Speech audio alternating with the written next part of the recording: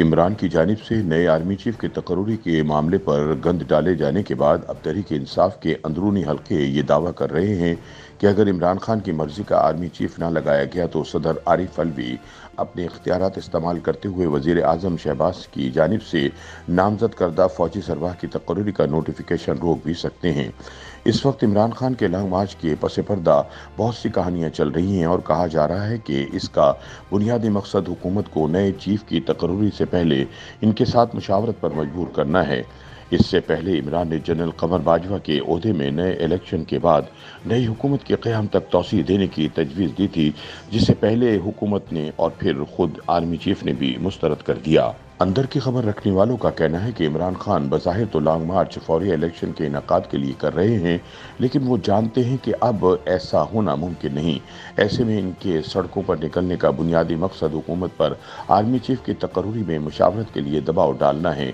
इमरान के नज़दीक इस वक्त आर्मी चीफ की तैनाती का मामला बहुत ज़्यादा अहमियत इख्तियार कर गया है खसूस एक ऐसे सियासतदान के लिए जिसका सारा करियर ही फौजी इस्टेबलिशमेंट का मरहून मिन्नत रहा हो।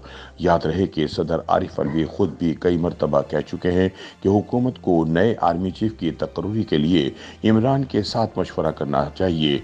दूसरी जानी वज़ीर आज़म शहबाज शरीफ साफ़ साफ़ जवाब दे चुके हैं। उनका मौकफ है कि आर्मी चीफ की तकरूरी इनका स्वाबदी इख्तियार है। और वैसे भी जब इमरान वज़ीर आज़म थे तो उन्होंने इस हवाले से उनके साथ कभी मशवरा नहीं किया था। इसी दौरान नून लीग के कायद नवाज़ शरीफ वाज अल्फाज में शहबाज शरीफ को हुक्म दे चुके हैं कि वो आर्मी चीफ की तकरूरी पर इमरान के साथ कोई मुशावरत नहीं करेंगे। ऐसे में तहरीक इंसाफ के अंदरूनी जराए दावा कर रहे हैं कि अगर हुकूमत ने इमरान के साथ नए फौजी सरबराह की तकरूरी पर मशवरा न किया तो सदर आरिफ अलवी इस मामले में मसाइल खड़े कर सकते हैं।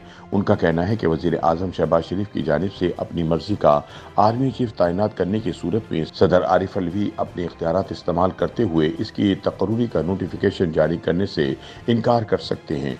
जराए का कहना है कि इस मामले पर इमरान और सदर अलवी की एक अहम मुलाकात भी हो चुकी है, जिसमें इमरान ने इन्हें कायल करने की कोशिश की कि अगर लॉन्ग मार्च के बावजूद हुकूमत इलेक्शन की तारीख देने और चीफ की तैनाती पर मुशावरत के लिए राज़ी न हो तो इन्हें क्या करना होगा?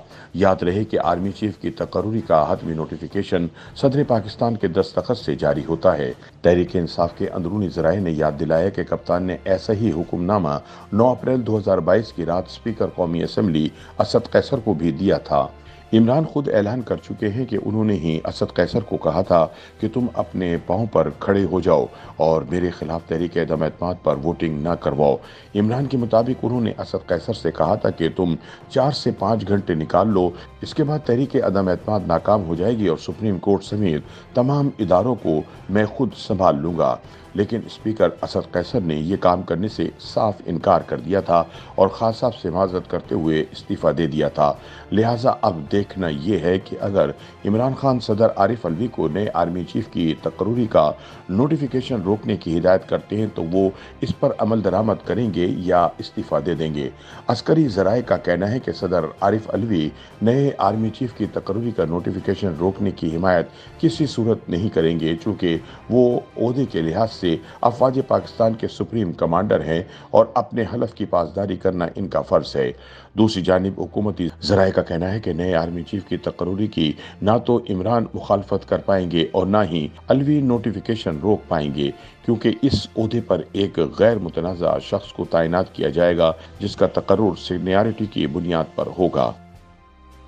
YouTube पर गूगली न्यूज़ देखने के लिए YouTube.com की सर्च बार में गूगली न्यूज़ टीवी टाइप करें। गूगली न्यूज़ के पेज पर सुर्ख रंग के सब्सक्रिप्शन वाले बटन पर क्लिक करना ना भूलिए। YouTube पेज पर अपलोड होने वाली वीडियो से बाखबर रहने के लिए बेल आइकन पर क्लिक कीजिए। आपको हर नई वीडियो के बारे में नोटिफिकेशन मौसू हो जाएगा।